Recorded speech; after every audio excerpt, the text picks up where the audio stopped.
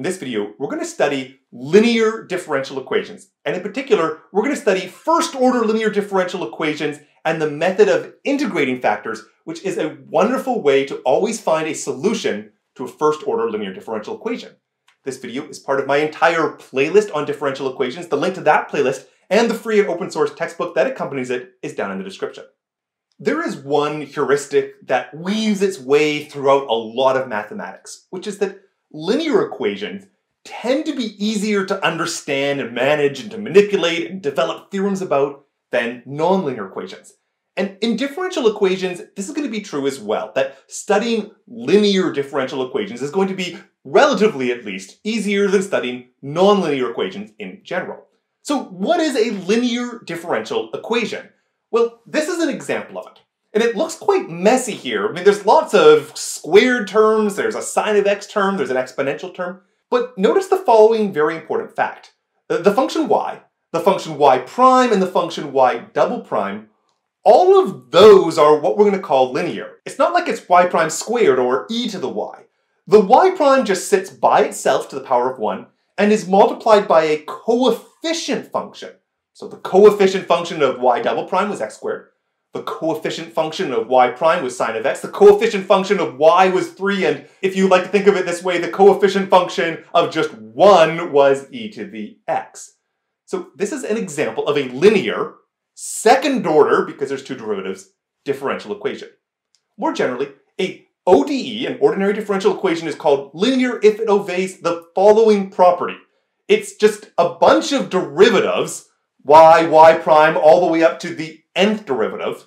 Little bracket with an n inside of it denotes the nth derivative of y. And then each of those has a coefficient function, which I call the a0 of x all the way up to an of x. And then that's it. They're just added together. On the right-hand side, this might then be equal to a final function, which we'll call b of x. So that's the definition of a linear ordinary differential equation. One more buzzword for you is if that b of x, if that right-hand side, the thing that's multiplied by just the function 1, no y's at all, if that is 0, we additionally call it a homogeneous linear ordinary differential equation. Now, if you've taken linear algebra, and it's okay if you haven't, then you've seen these types of terms before. For example, if you had a linear equation, it might represent, for example, a line or a plane. And if that linear equation was additionally a homogeneous linear equation, so there was no constant term, it'd be a line or a plane through the origin. And we had this whole theory of linear algebra, which was really well developed because we love linear equations as opposed to nonlinear equations, which we still love but are a little bit more challenging. And while there's no derivatives in linear algebra, a lot of that metaphor is going to be true here as well. Now, in this video, we're really going to focus on first order linear differential equations, have a method called the integrating factor method to be able to solve them. So the first thing I'm going to do is write down a generic first order linear ordinary differential equation, it's a mouthful, And what we're going to call its standard form.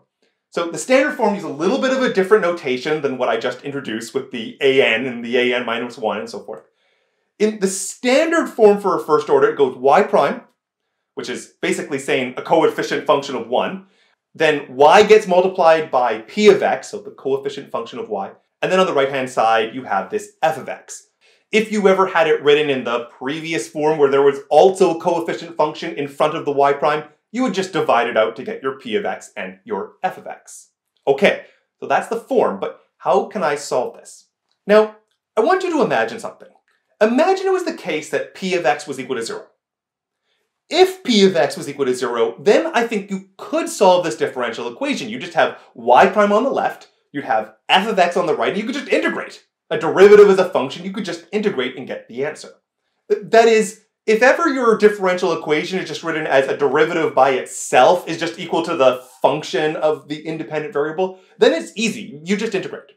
But we don't have the fact that p of x is equal to 0, and we're sort of going to try and fake it by a method called the method of integrating factors. So here's how it works. I'm going to take the same differential equation, but I'm going to multiply it by some function, some function I don't yet know what it is, called r of x. r of x is our integrating factor. I'm allowed to do this. I mean, I can do the same thing to both sides of an equation. I could multiply both sides of an equation by some non-zero function r of x. Now, what I would like to do, and I, I can't yet do it, but what I want to be able to do is take that left-hand side and just rewrite it as the derivative of something, perhaps the derivative of the integrating factor r of x multiplied by y. And the reason that I would like to be able to do that is if I had, that on the left-hand side I'd have a derivative, on the right-hand side I'd have a function of x, and I could just integrate both sides with respect to x. That'd tell me my r times y divided by r, and that would tell me my y. So I would love if I could write that left-hand side in this format as the derivative of r of x times y of x. But I mean, it doesn't at all look like that right now. Well, what if I tailored the r of x to be exactly the thing I needed, such that it was possible to rewrite the left-hand side in this way? So how could I find that? Well, if I could write it in this way as the derivative of r of x times y, that's the derivative of a product, and we would have the product rule. So let me expand out the product rule. It would say r of x times y prime plus r prime of x times y. That would be what we'd get. Now, if I compare what I want to what we have, well, there's a first term that's identical for both of them, the r times the y prime. That's the same, okay, looking pretty good. But the second term is quite different. In what I have, it's r times p times y. What I want it to be, it's r prime times y. At least there's a y in both, so I could actually just get rid of the y in my comparison. It's saying r times p would have to be equal to r prime. So again, I'm just trying to find a function of r of x that would work out to make it nice the way I want it to be. And if that was to be the case, then these two things would have to be equal. Okay, so let's just play around with that. Let's just set those two things being equal and just see what we get. This here is a differential equation. It's actually a first order differential equation in the variables r and x. Okay. In fact, I can do more than that. It's not only just a first order, it's a separable first order. So let me just go and separate it using the method of separation of variables. I'm going to divide out by the r of x on both sides.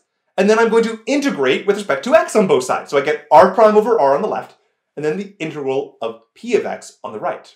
So now I'm solving some integral. Well, the left-hand side I can do, it's going to be a logarithm.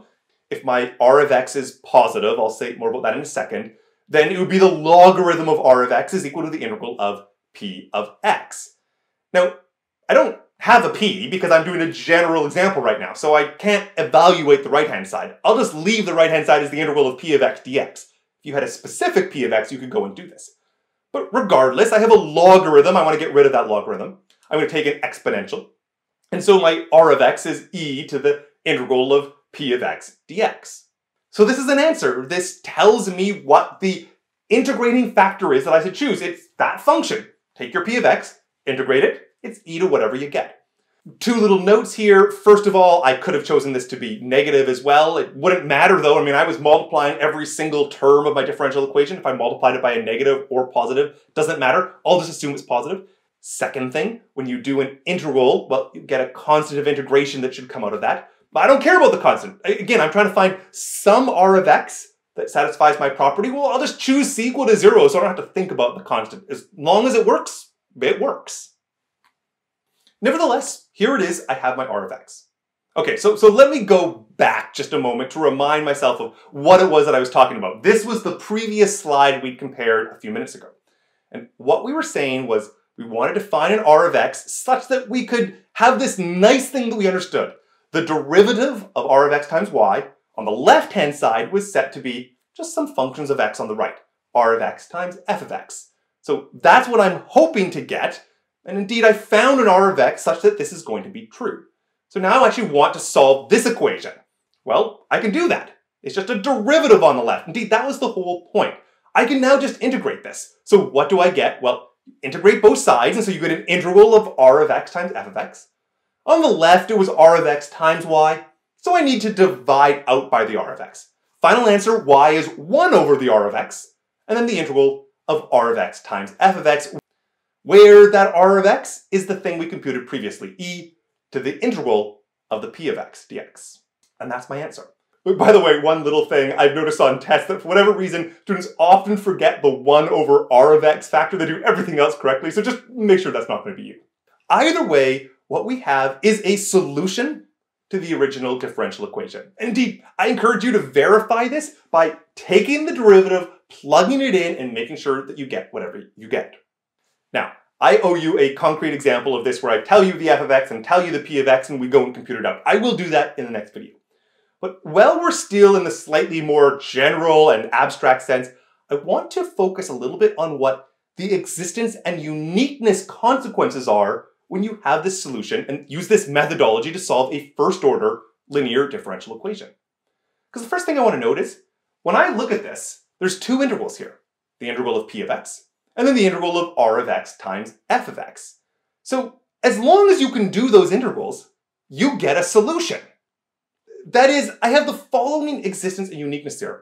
It says that if f of x and p of x are continuous, which is sufficient for me to be able to integrate them, and they're continuous on some interval ab, well, wherever those are continuous, wherever I can do the integrals, I get a y. And it's not just existence, it's a unique solution. Because if I think about my methodology, it says if there's a solution to that equation, right? We started by setting that equation equal to itself. Then the arguments that followed from there force the y to be of this particular format. Multiplying both sides of the equation doesn't change it, so you can multiply by your integrating factor. And then the fact that it was forced into this solution, that tells us this is the unique solution on that entire interval.